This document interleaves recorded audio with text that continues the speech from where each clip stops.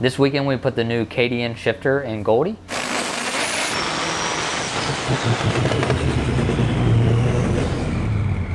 This shifter provides a 121 and also a 232 lockout.